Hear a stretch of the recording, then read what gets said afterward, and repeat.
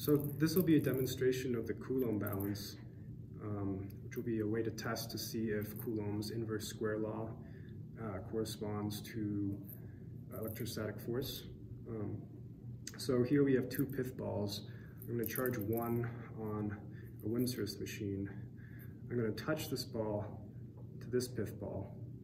And at first it will attract, um, acquiring the same charge. It will then repel in the opposite direction and we can measure the angle of repulsion using this torsion balance. And torsion is basically a measure of how twisted a wire is.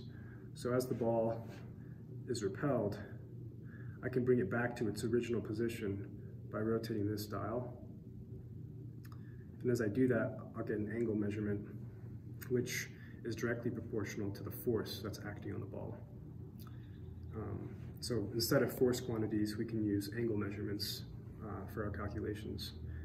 And on this side of the balance, there's a centimeter ruler that will tell us exactly the distance between the center of this ball and the center of that ball, um, because it's the centers of force that uh, give, the, give accurate measurements.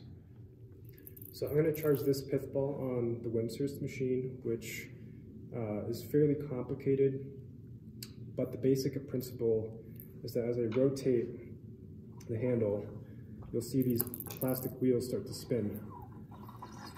And these will pick up ambient charges in the air and distribute them to these two separate Leyden jars.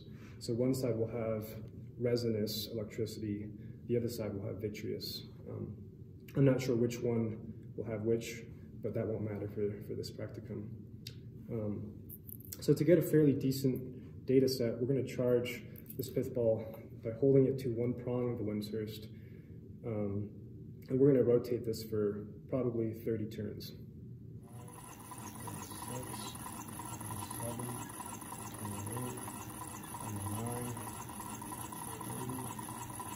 I'm going to go a little further. Three, four, five, six, seven, eight,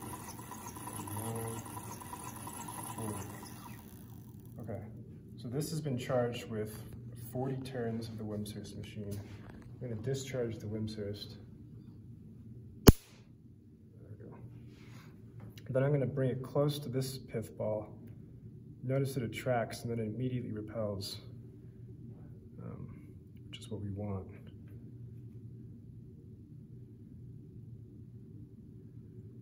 And so center to center, for a distance of 20 centimeters. Um, you have a torsion angle of five degrees. If I bring it closer to 18 centimeters,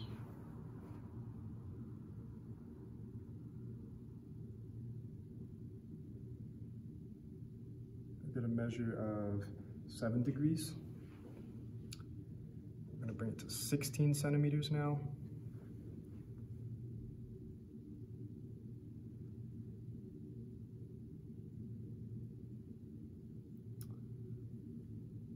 Got nine degrees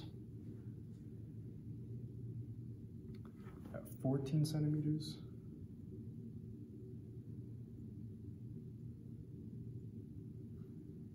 Eleven degrees.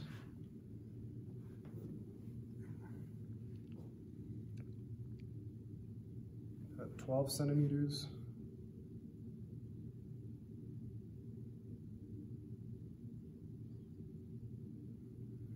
Sixteen degrees. At ten centimeters.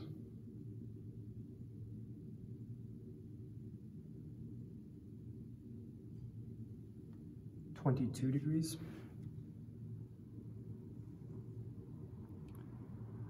at eight centimeters.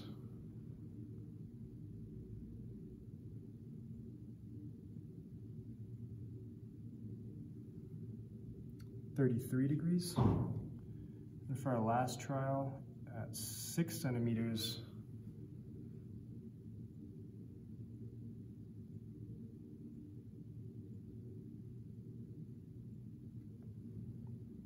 51 degrees. So right now the Coulomb balance is uh, calibrated for the neutral stage. So the pith ball is not charged, the dial reads zero degrees, and these two lines match up. Um, you notice that as I bring a charged pith ball close to the second one, you see an attraction, and then you see a repulsion. And so in order to measure that angle, basically I twist this dial, which forces the pith ball suspended on the wire to go back to its original position.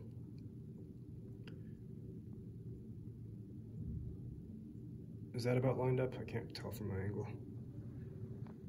Almost. Almost. Okay. But in any case, um, that's how we're measuring the angle of torsion, which we're going to use for instead of force. So in this table, we've compiled results from two different trials, and you see that we are getting relatively comparable distribution. Um, so we can use this data to test whether Coulomb's inverse square law applies to electrostatic force. Um, the inverse square law says that force F is inversely proportional to the square of the distance. Um, another way of writing that is that the first, the first force measurement is to a second first, uh, force measurement as the second distance squared is to the first distance squared. Um, and as I said before, instead of using force quantities, we'll be using the angle of the, that the torsion wire moved through. Um, so theta 1 will be to theta 2 as the square of the second distance is to the square of the first distance. Um, so if I just take um, the first two trials for a distance of 6 and 8 centimeters, um, theta 1 is 51 degrees. Um, and theta 2 is 33 degrees.